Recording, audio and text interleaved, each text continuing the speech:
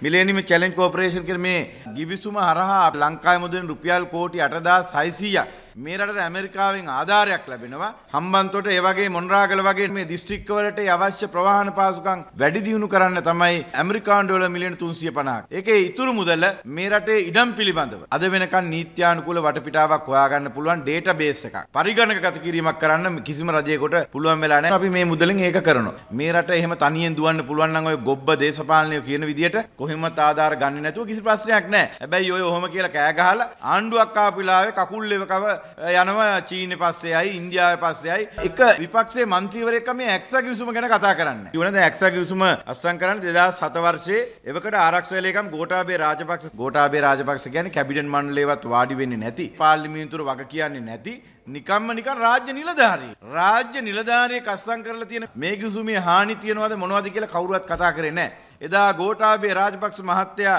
මේ අත්සන් කරපු ඇක්සා කිවිසුම 2017 අපි නැවත වරක් අත්සන් කරනකොට මේකට එක වෙනස්කමක් එකතු කරා. ඒක තමයි අවුරුදු 10ක් යනකම් මේ කිවිසුමින් අයින් වෙන්න කාටවත් බෑ කියන කාරණාව අපි දින 180කින් අයින් වෙන්න පුළුවන් කියන ඒ වෙනස්කම එකතු කරා. සෝෆා ගිවිසුම් හා මිලේනියම් චැලෙන්ජ් ගිවිසුම සම්බන්ධයෙන් ලංකා වාණිජ මණ්ඩලය කර තිබූ ප්‍රකාශය සම්බන්ධයෙන්ද මන්ත්‍රීවරයා මෙහිදී අදහස් පළ කර සිටියා.